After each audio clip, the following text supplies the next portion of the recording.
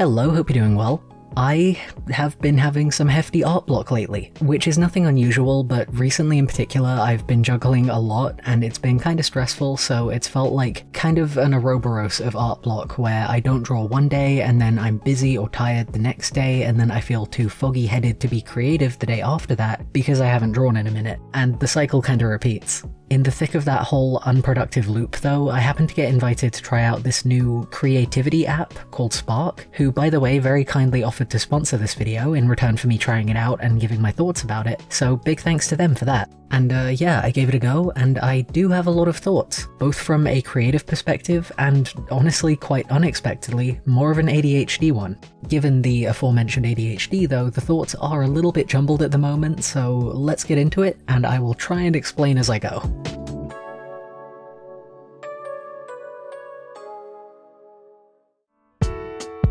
So first things first, little disclaimer here, um, obviously like I say this video is sponsored, but regardless of whether I'm being sponsored to try something or not, I always want to give my genuine feedback about things, so rest assured that's what's going to be happening here too. Although I don't want to spoil anything here, but you'll know me, I wouldn't really go recommending anything that I don't genuinely vibe with in the first place. So yeah, with that in mind, let's talk first impressions.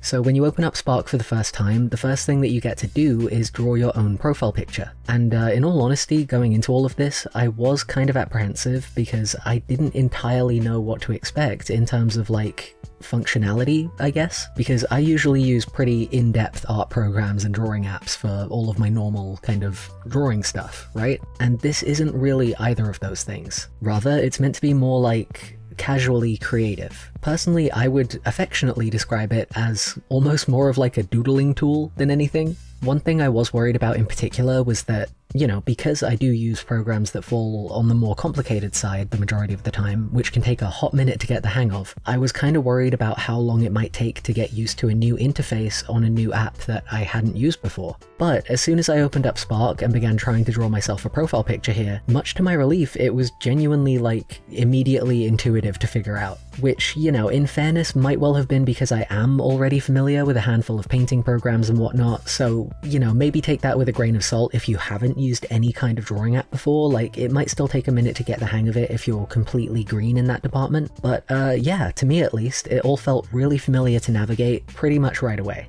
The basic setup is that you have your toolbar here at the bottom where you can tab between tools and pick colors, uh, undo and redo, all of that kind of stuff and, in a pleasant surprise, even use layers, which I say was a surprise to me because, uh, honestly, this is probably quite silly on my part, but the folks at Spark actually did tell me that there was a layers feature in the app, but for whatever reason, I genuinely just didn't expect it to be, like, immediately available. Like, I don't even know what I did expect, or if I assumed it would be like a feature that you unlock later, or whether I just didn't think I'd be able to, you know, make a separate sketch, ink, and color layer when drawing a profile picture like this. But uh, yeah, that legitimately exceeded my expectations, even though I kinda had been told to expect it. Um,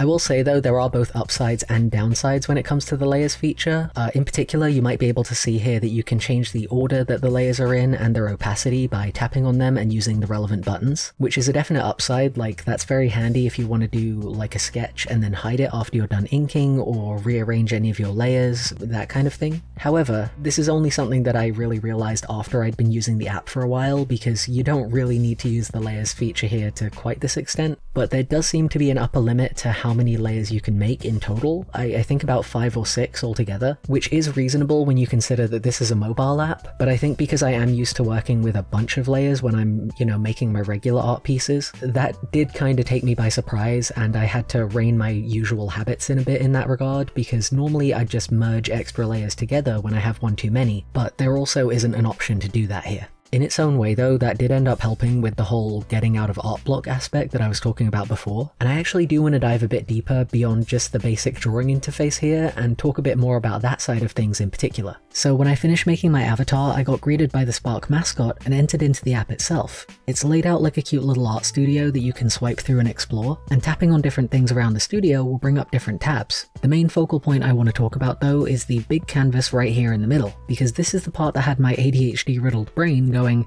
oh, this could be a game changer. You see, the whole thing with this app, which I actually think I forgot to mention until now, which is my bad, um,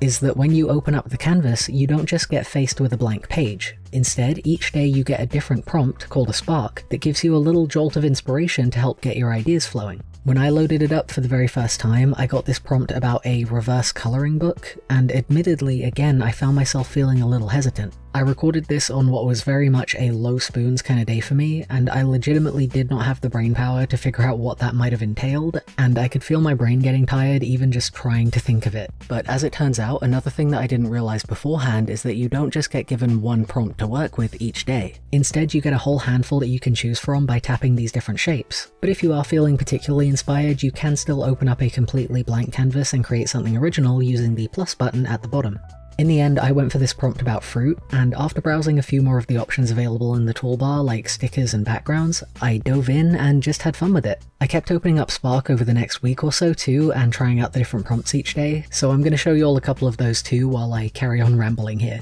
Anyway, yeah, the basic way that I went about using the app was as a kind of way to warm up and try to overcome my ongoing art block when I had something creative I needed to do but didn't necessarily have the spoons to actually do it. And that happens quite a lot because as I've talked about a great many times in my videos before, the art block that I regularly struggle with is something that for me is intrinsically tied to my ADHD. Getting started on anything is one of the hardest things in the world for me because my brain is hardwired to work like a dynamo. I need to be in momentum to stay in momentum, and if I'm not in momentum, I need some kind of external prompting, uh, I realize I could even say some kind of external spark even, to get my brain in gear, and get to work on whatever it is that I either want or desperately need to do. It's hard to explain, but it's very much another one of those kinda Ouroboros moments. Not to mention that on top of that, normally I can get overwhelmed at even the prospect of doing warm-up sketches, because not only do I end up feeling like there are infinite drawing subjects that I could potentially pick from, but I also tend to get caught up in the detail and end up polishing them until they can't really be called a warm-up anymore because they've taken up a ton of time and energy. But what I found when I was creating stuff for these daily sparks was that even though the proportions and perspective and level of detail in them ended up being way off from the standard that I would normally hold myself to, especially for anything that I would normally put into a video like this, I was still really happy with them. If anything, I think I was even more happy with them than I would have been if I had forced myself to do like a traditional warm-up instead. And the reason for that is because by working within the bounds of a specific prompt and toolset, I felt like, for what was genuinely the first time in quite a while, that I ended up not feeling overwhelmed or constrained by the expectations that I normally put upon myself to make everything look perfect. I realized that I might be waxing way more poetic than is maybe necessary for what is basically an app review here, but being able to make a bunch of doodles of mainly Leaf, honestly, I ended up drawing him quite a lot,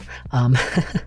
but just like doodling as a part of this fun little mini game kind of setup was honestly a weirdly freeing experience compared to all of the really complicated work that I've been doing lately. Having said that though, even though I treated my Spark canvas as a place where I could not draw badly, but just be a bit more unserious when I am drawing and not try to aim for perfection, you know what I mean? Um, some people I've seen on this app are out here making actual masterpieces. It's legitimately really impressive. On that note, I mentioned earlier that tapping on different items in the like studio homepage will bring up different tabs. And uh, besides the main canvas itself, a few of the other areas that you can visit from here are a public gallery of other people's creations, a personal gallery of your own creations, which by the way you can change the settings of at any time to make the stuff that you've made previously either viewable in the public gallery or privated to be for your eyes only, as well as a zone for collaborative creations and a Polaroid and picture frame themed wall of quests and events and achievements, and even a space for asking your fellow sparklers, which is a very endearing name for the people who use this app, I am quite fond of that. Um, but yeah, you can ask other people to help you come up with ideas if you ever do find yourself feeling stuck. One other thing that I forgot to mention as well is that during the week that I was recording for this video, the Spark team actually added a time-lapse feature to the app as well, which you can access via the same toolbar where the brushes and backgrounds are found. And uh, believe it or not, this was actually my first time ever using any kind of in-app screen recording feature like this, so while I don't really have any previous point of reference I could compare it to, it was very cool to see that something like this had been made available. And for what it's worth, it worked flawlessly on the very first try, even though the feature is still only in beta right now. Anyway, I've rambled for a hot minute here, but I hope that this has been a good introduction to any of y'all who maybe haven't heard of the Spark app before, and hopefully you can also understand why I ended up looking at it from not only a creative perspective, but also through the lens of my ADHD. I have to live with it all the time after all, so I'm always looking out for things that might be helpful to me when it comes to keeping grounded, keeping myself on track, and hopefully avoiding art block. So what's my final takeaway here? I definitely had fun with it, but would I say that Spark is a definitive cure for art block? No, not quite, because that's not really what it's meant to be. What it is, is just a nice calm corner where you can chill out and be creative without feeling like you're under pressure, or even having to think too hard about whatever it is that you're creating. And for a person like me who does overthink absolutely everything that he makes to the point of not being able to make anything a lot of the time, having a tool like that to help me make something small and fun so that I can at least get the ball rolling and warm my brain up to be in that mindset of like, hey, I've made something today, now I can make more. That is genuinely invaluable. I don't know if that's quite the intent that the Spark team had when they first made the app, so I can't really speak to it in that regard, but to me, it slaps. It, it slaps for that. Um,